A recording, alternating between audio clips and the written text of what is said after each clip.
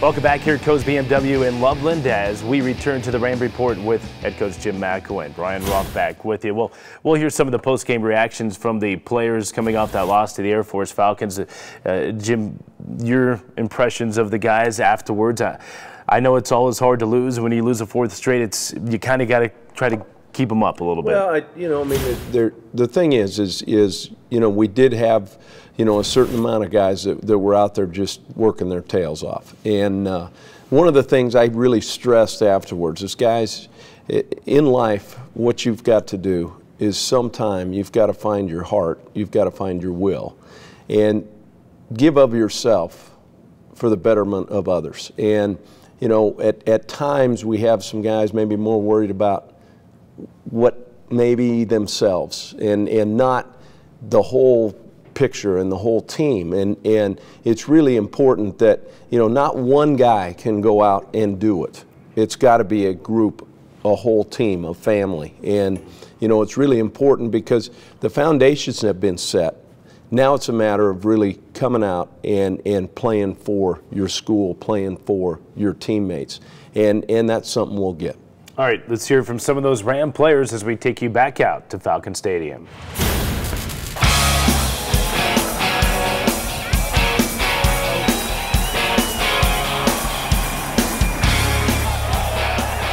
I mean, it's frustrating. We've we've said the last two three games now that we knew we know we need to start fast, and I mean they started fast, put up 21 nothing. We've come out before every game and said you know we need you we need to start fast, and everybody's in the locker room hooting and hollering, you know, getting pumped up, and the coaches are.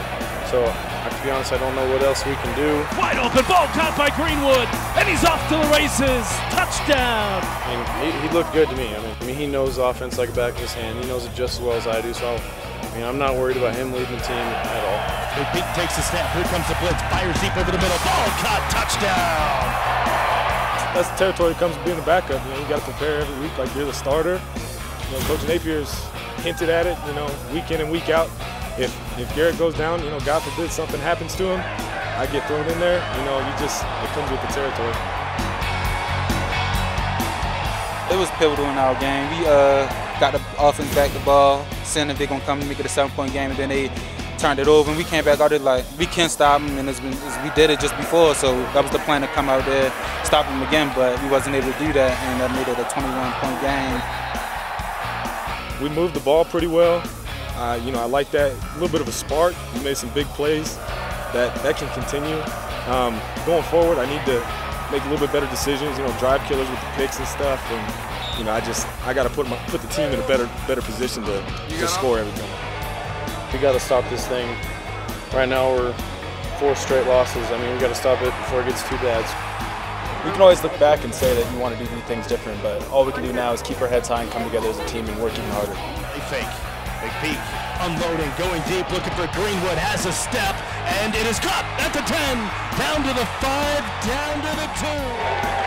I, we made big plays we made big plays. We're an explosive offense, and everybody, you know, has their chance. And I feel like everybody's starting, you know, we're turning that corner, and we're starting to realize how good of a team we can be.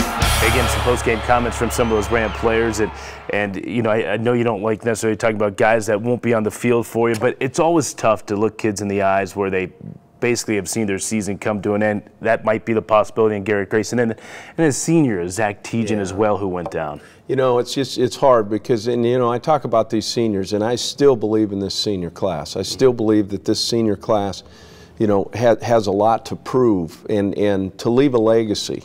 And, uh, you know, Zach has done an outstanding job for us this season. He's one of those seniors who is really, you know, committed to, to doing what's right. And, uh, you know, to see him go down the way he went. Uh, but, I, you know, Yet to be seen, but I think uh, he'll be back here in a, in, a, in a short while, too. Good. That's certainly good news. All right. We'll have plenty more to come here on the Ram Report with head coach Jim McElwain. We'll look ahead. Homecoming coming up next week. Look at that right here on the Ram Report.